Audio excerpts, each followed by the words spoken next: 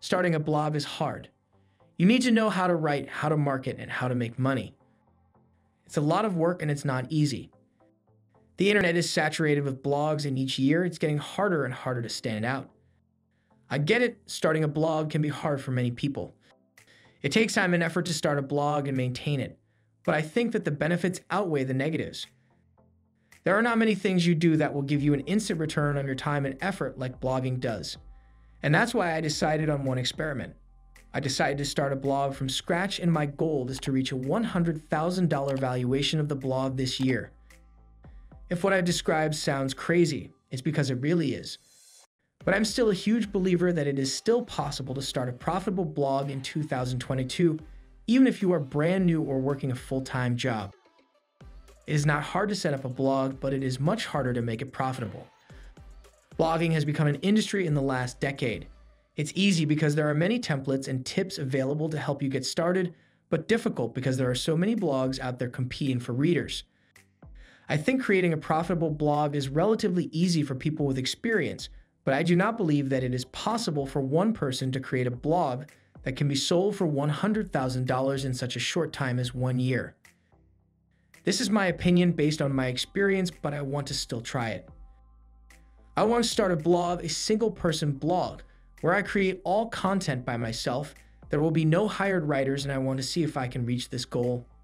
So, in this video, I want to share with you who I am, the thought process of why I'm starting this website, and the science behind it.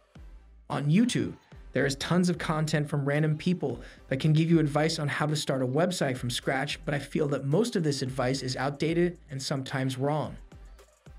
This is based on my experience with blogging and SEO, so I feel that some advice is like from the past and doesn't correspond to the time we are living. That's why I want to use my own skill and experience from years of building and selling websites but I want to implement and test some new techniques and tools that can make blogging easy for any person with any special skills. As Adam Enfroy says in one of its videos, blogging is a science, not an art. It is not about giving people updates on your life. For this, we have social media. Blogging is about giving people what they are looking for. Give them answers for the questions they are putting in the Google search bar. If you master this skill, you can definitely create a profitable blog. And to do this, you need to a lot of content. While content writing may seem exhausting and time consuming, I think that we are starting to live in an age where we should focus on assembling content with AI rather than on creative writing.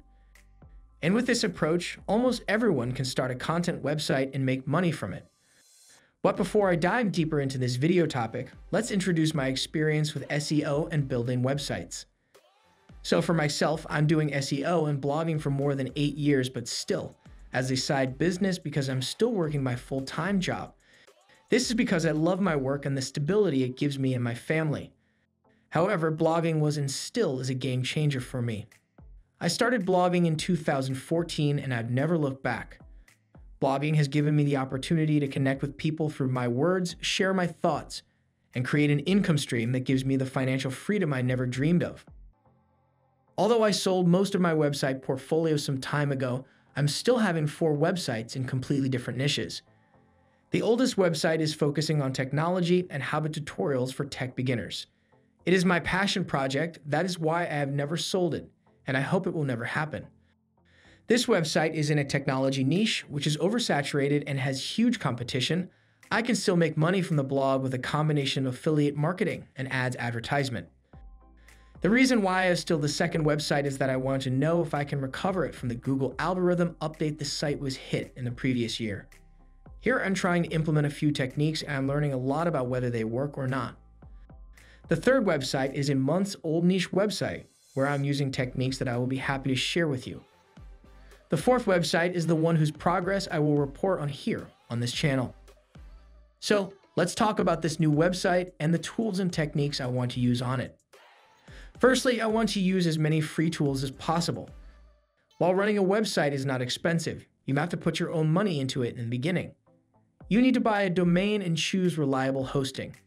Since domain will cost you around $10 per year, hosting is more expensive. In the beginning, you should get shared hosting on some renowned hosting provider where the prices start at $5 per month. However, you should understand that having good and fast hosting is crucial for your site. So choose wisely, take your time, and make your own research. Domain and hosting are necessary investments, but luckily most of the other tools I will use have a free version. I'm used to build my websites on a WordPress platform, so there is no surprise that even the new website is built on this awesome platform. When I mentioned before that most of the tools I'm using come with a free version, I have not included a special tool that will be insanely important for this project. It is a paid tool with a monthly subscription model, and you don't need to use it, however, I have to use it. There is a saying in a blogging community content is a king. Get traffic to your website, you need content that will drive this traffic. There are tons of people who will teach you that you need to write stellar content with thousands of words, but in my opinion, this is outdated thinking. We're starting to live in an age where nobody has time to read 10 minutes long articles. We are in an age where people are looking for information and they want to get answers quickly and in a simple form. That's why I think it is the right time to start implementing AI writing tools to content writing. And for this website, I want to write content with the help of Rytr, which is a budget AI writing tool and for me, a second best on the market. People who know something about it will definitely tell you that Jarvis AI is the best tool for content writing, and they are right. With the pricing, it is out of reach for most new bloggers. That's why I will use Rytr, at least at the beginning of my journey. My goal is to create a content heavy website that is mainly monetized with ads, and to do it the right way, I need to publish tons of content.